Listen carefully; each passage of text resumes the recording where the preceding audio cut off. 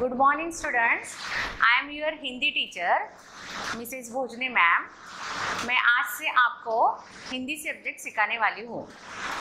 तो आप आप सबके पास में बुक है क्या? तो आपके सबके पास बुक है तो आप अपने बुक का फ़र्स्ट पेज ओपन करो हाँ। आपके पास ये बुक है तो आपके बुक में से झलकी ये बुक ये पेज नंबर ओपन करो। देखो, इसमें कौन सा कौन सा चित्र है? सभी प्रकार के इसमें चित्र है। आपको कौन सा चित्र जो अच्छा लगे? अभी देखो, यहाँ दो, एक भाई है और एक बहन है। और वो जो बहन है, वो उस भाई को ये चित्र दिखा रही है। और कोई क्वेश्चन पूछ रही है, ऐसे हमें लग रहा है। तो आपको इस चार चित्र में से, पाँच चित्र में से आपको जो चित्र अच्छा लगे, उसमें से सिर्फ़ पाँच वाक्य आपको लिखना है। सिर्फ़ पाँच वाक्य अपने नोटबुक में आपको बनाकर लिखते हैं। कौन सा भी चित्र अच्छा लगे वो। देखो यहाँ यहाँ देखो एक फुलवारी लेकर बैठी है। हाँ यहाँ दादाजी कहानी सुना रहे हैं। यहाँ देखो जंगल दिखाई दिया है बंदर ऊपर है, यहाँ बगीचा है। बगीचे में बच्चे पौधा लगा रहे हैं। इसमें से आपको कौन सा भी चित्र एक ही अच्छा लगे, उसमें से आपको पाँच वाक्य बनाकर लिखने हैं। आगे आगे का पेज आप ओपन करो। देखो।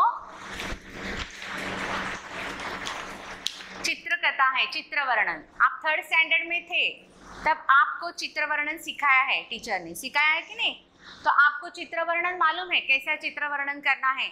तो आपको देखो, एक नटखट बच्चा, यहाँ जो लिखा है सब, देखो, एक नटखट बच्चा है, उसकी, उसका नाम देखो क्या है? पढ़ो, एक नटखट बालक पार्क में साइकिल चला रहा है, उसकी मम्मी उसे देख रही है, बालक साइकिल चलाते चलाते पेंडोलन से, पेंडोलोन से ऊपर ऊपर उठा लेता है। देखो, आपको ये चित्र दिख रहा है? देखो, सबका वर्णन इस वाक्य में जो आ रहा है वैसे ही वाक्य यहाँ हमें बनाने हैं, इस चित्र में बनाना है। दूसरा जो दो चित्र है, बालक साइकिल चलाते चलाते हाथ छोड़ देता है। तो मम्मी उसके, मम्मी उसको डांट रही है ऐसे, हाथ छोड़कर साइकिल मत चलाओ। बालक साइकिल चलाते चलाते आँख भी बंद कर देते हैं। अभी आप भी ऐसे करते हैं ना कभी कभी बोलते हैं कि नहीं, मुझे साइकिल चलानी आती है, मैं हाथ छोड़कर भी साइकिल चला सकता हूँ। वैसे ही वो बालक क्या कर रहा है? हाथ छुड़ाकर साइकिल चला रहा है। उसकी मम्मी उसको डांट रही है। बालक पीछे देखते हुए साइकिल चलाता है। मम्मी को वो तो बोल रहा है कि नहीं, मैं इतना होशियार हूँ, इतना होशियार हूँ कि मैं हाथ छोड़कर भी साइकिल चला सकता हूँ और मैं आँखें बंद करके भी साइकिल चला सकता हूँ और मैं पीछे देख कर भी साइकिल चला सकता हूँ। देखो, कैसा है ये लड़का? है ना, मम्मी को देख, देखो, मम्मी उसको पुकार रही है, बोल रही है कि ये बंद करो साइकिल चलाना, मेरे पास देखो लेकिन वो नहीं सुन रहा है। और मम्मी का मम्मी का उसने नहीं सुना, इसीलिए उसको देखो, क्या परिणाम हुआ उसका? वो नीचे गिर गया, उसके हाथ को लग गया। अभी कौन रो रहा है? इसीलिए सभी, हमें क्या करना है? मम्मी की सभी बातें सुननी है। और मम्मी की बातें सुनी तो हमारे पास अच्छे गुण प्राप्त होते हैं।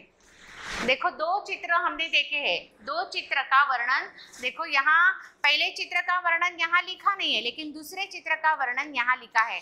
वैसे ही हमें इसी चित्र का वर्णन, कौन से भी इस एक चित्र का वर्णन हमें करना है।